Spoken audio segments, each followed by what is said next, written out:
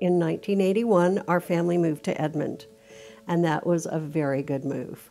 Three or four years later, I met some women who had just started the Fine Arts Institute on a volunteer basis. It's been a wonderful ride. But I started working there, and we were in a building that was 800 square feet. It was in a strip mall. And today, as you know, we are in a beautiful art center, 8,000 square feet, just a beautiful facility.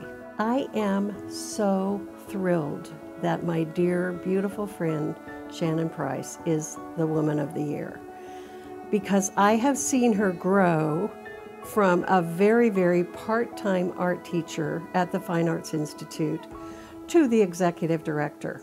Shannon Price, congratulations, my dear, dear friend. I love you.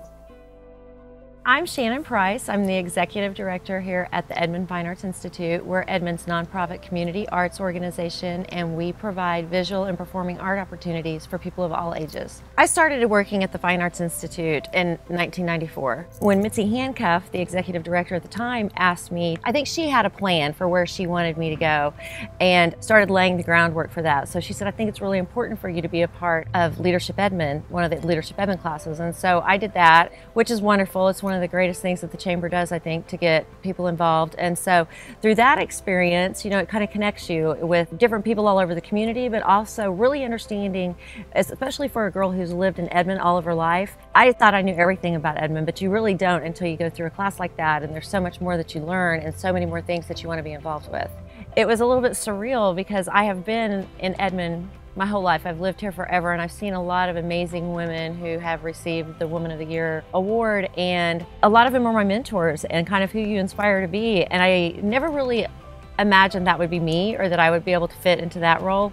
But it was very humbling, it was very exciting and very shocking. So it was a very nice honor. Thank you for thinking enough of me to even put my name in the hat for this. And the committee that spent all the time going through all the nominations and Prosperity Bank, who we couldn't have this award without them. I, I thank you for your time. I thank you for your faith in me and belief in me. And it really means a lot that you respect what we do here. And I am eternally grateful and very humbled by your decision to choose me as Edmond Woman of the Year.